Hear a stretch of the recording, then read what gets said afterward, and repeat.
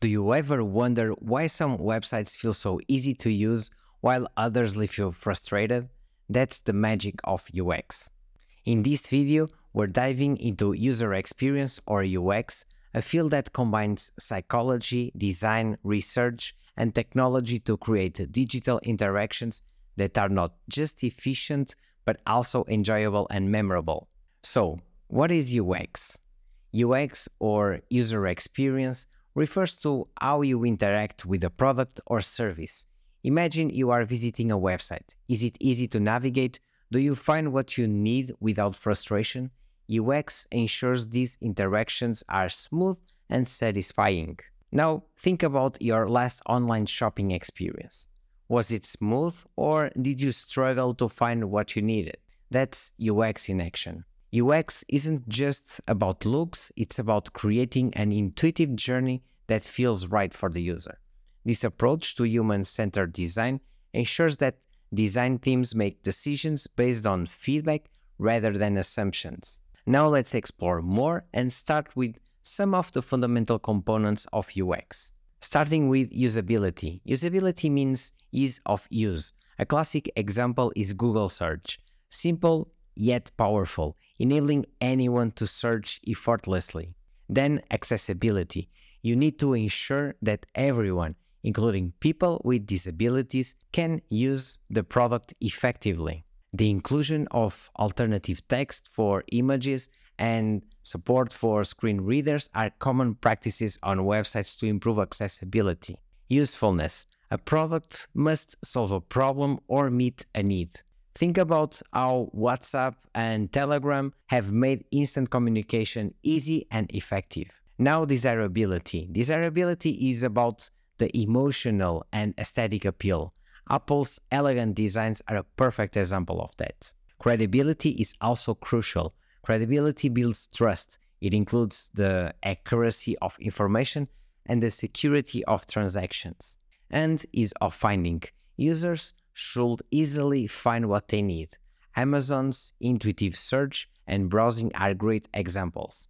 When you're working as a UX designer, you usually start with user research, which involves understanding user needs, desires, and problems throughout interviews, usability tests, data analysis, and other methodologies. This research forms the foundation for creating prototypes and wireframes, which are continuously tested and refined based on user feedback. Keep in mind that UX design is a cyclical process. The steps involved don't always follow a straight line and may loop back as needed. Each company's unique situation will determine which aspects of the UX process are prioritized or possible at any given moment.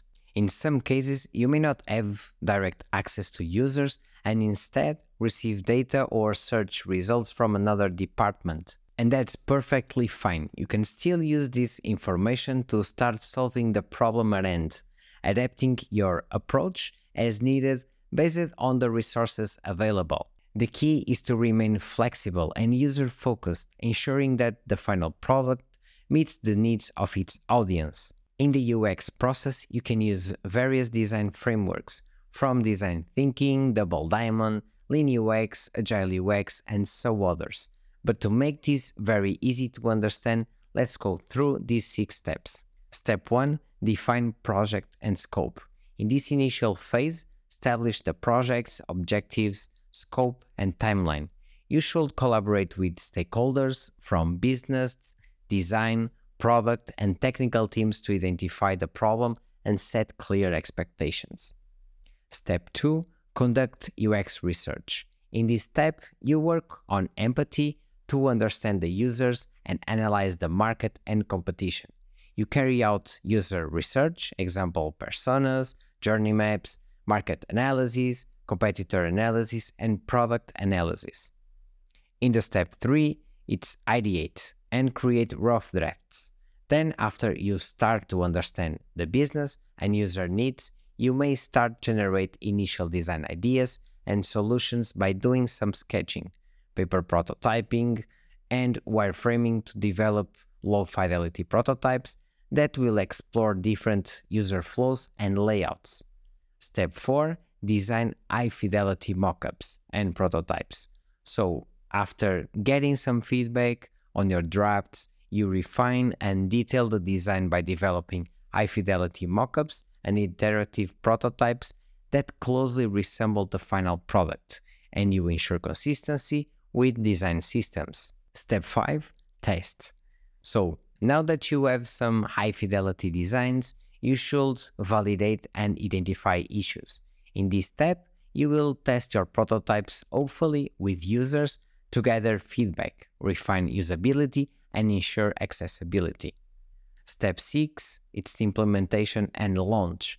In this stage, you hand off your designs to the development team to develop and release the product and ensure it meets the expectations. There are no rules to follow this sequentially. Often, UX teams prototype and test during the defined stage while sharing ideas, or they emphasize with participants during usability testing. This is an iterative process where UX teams continuously move throughout these stages, testing and refining their designs. Now, pay close attention. I want to give you two very important considerations on your journey to becoming a UX designer that you should take into account, as many people don't share this right from the start. Adopting a UX culture in a company brings many benefits, but it also presents challenges that cannot be ignored. Firstly, there can be a resistance to change, as the introduction of new practices and processes is not always well received. In addition, the costs and time involved into investing in UX can be significant, and integration between departments such as design, development, and marketing is essential to avoid inconsistencies. Another important point is the measurement of UX success, which can be challenging because many of its benefits are based on user feelings and experience, which can be harder to measure with numbers. In addition, it's crucial to find a balance between user needs and business objectives, as these two areas are not always perfectly aligned. Then you could have scalability as another challenge, especially as the company grows and expands, making it difficult to maintain a consistent UX culture. Finally, it is important to manage realistic expectations of what UX can achieve, thus avoiding frustration. A well established UX culture requires commitment from the entire organization, continuous investment, and a careful balance between user needs and business objectives. Companies that prioritize the user experience at all stages of development tend to have more satisfied customers, more effective products, and greater brand loyalty. The impact of good UX is profound and far reaching for business, going beyond simple customer satisfaction. It can increase brand loyalty, improve conversion rates, reduce support costs, and even increase revenues. During the pandemic, rapid digitalization has required many companies to improve their online presence. Those who have invested in UX have managed not only to create functional products, but also to provide positive experiences for users, resulting in a larger and more loyal customer base. UX is a continuous process of discovery and improvement with no ready made recipe for success. Each project requires a unique approach based on specific user needs and business objectives. It is crucial for you, the UX designer, and the company to maintain a user centered mindset, always being willing to learn and adapt to changes in user needs and the market. The true essence of UX is to create products that make people's life easier and more enjoyable, exceeding their expectations. And that's it. If you found value in this video, hit the like button and leave a comment. Your feedback helps others in the design community discover this video. Next video will be about UI design. Thanks for watching and I'll see you in the next video. Have a great day.